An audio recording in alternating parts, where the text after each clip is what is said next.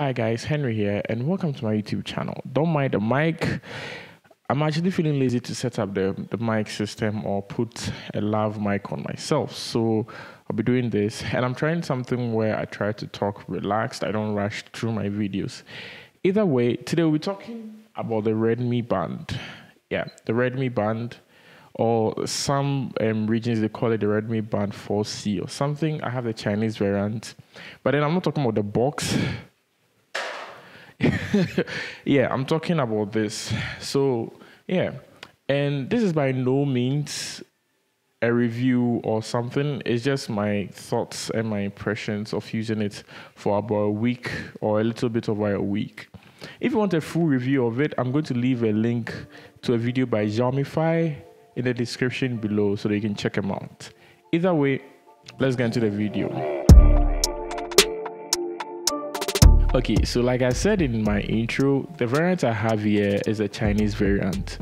But then with that said, anything I say about this still applies with the global variant or the global version. I think that one goes by the name Redmi Band 4C or something like that. I'm just going to write it on the display. To start using this, you need a Xiaomi account and the Xiaomi Wear app if you're using Android, and then the Xiaomi Wear Lite app if you're using iOS, and you just connect it. So when you're going through the setup, because this is a Chinese variant, you just have to set your region to China. If you use any other location, it won't work. I, I don't know why, but then it just won't work. And it doesn't change the language to Chinese or something. It just needs you to set the region to China, which I don't understand why. But like, yo, it is what it is as long as or as far as features goes it's just here to keep you or help you keep track of your exercise um, calories you've burnt amount of steps you've taken and probably your sleep because in the app and on, on this it shows a sleep tracker thing. I've still not been able to get a way to get it working but then yeah it does that. So if you are really into that you can also use it. But then as a plus feature you can use it to um, keep track of your notifications and then calls and stuff. So for me, you can actually turn it on and off in the app. So for me, I have it turned on for my WhatsApp Messenger, Telegram, Instagram, yeah, plenty grams, my Gmail app, and then my messages app. So anytime I get notifications from these apps, I just get the vibration on my watch or on my band. It's funny I keep saying watch because the only other smart wearable thing or wrist wearable thing I've used was my Apple Watch, which I love very much.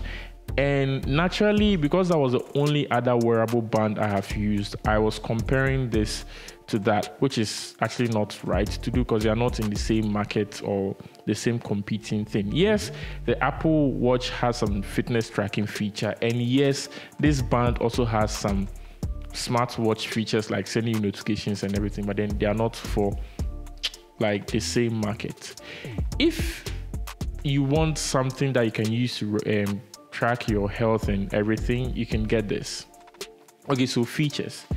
This can last in water, it's water resistant or waterproof. Okay, it's not waterproof, it's just water resistant. So you can use it to swim or use it in the rain and it will still work. It just has one button on the screen that makes it a bit way easier to navigate, which sometimes might be a problem for me, but like, yo, it works. So I don't have to complain. One thing I would say I don't like about this is the way it charges. You just have to take, or you have to take one of the bands off. The one closer to the home button, you just take it off and then you get the USB ports that you can plug it into your wall socket or charger head or something, which lately doesn't come in some phones cases or boxes. But then, yeah, I don't like it because anytime you're removing it, it's a struggle. And it feels like it's going to break. The first time I was removing it, I thought I was going to break this thing. So I had to go and check on other YouTube channels. And that's how I found the Xiaomi thing explaining it. It sucks. Like, I feel they could have done better, like maybe MagSafe or something, but then they chose that. So, yeah, it takes two hours to charge completely and then it lasts for 14 days. But if you're using it the way I use it, like as a notification hub or something, you won't get 14 days. You can get at least 10 days or 12 days or something. You get 14 days. And it's actually okay for people who want to track their fitness or whatnot. So at the end of the day, if you are into tracking your fitness, you can actually get this. It's very inexpensive and it gets the work done. But then if you're like me and you're used to using a smartwatch with all apps and all that kind of stuff, you shouldn't get this. Like, yeah, it's actually good, but you shouldn't get it. And on also, I just remembered one issue that I have with this is the fact that anytime I get a notification from an app, it just writes app, then puts it in the blue circle, and then they write the app's name. Like what happened to putting the app's logo on your wrist? Like you, I know you can download the apps on your wrist, but then having it here would have been cool. And also the fact that anytime I get emojis and the message preview on the watch or on the band doesn't show the kind of emojis I get sent, no matter how simple the emoji is. It's just just sad.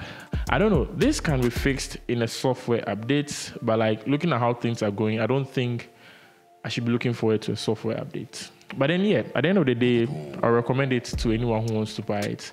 Either way, thanks for watching. Okay, so I'm actually left with the shout outs I mostly give on my channel.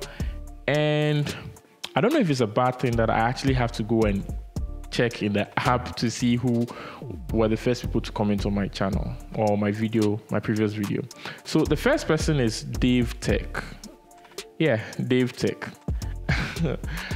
and then um, Richie Tech. Why why is these two people having Tech in their names? But then yeah, a big shout out to Dave Tech and Richie Tech for being the first two people to comment on my previous video. If you want to get shout outs on my videos, you know what to do.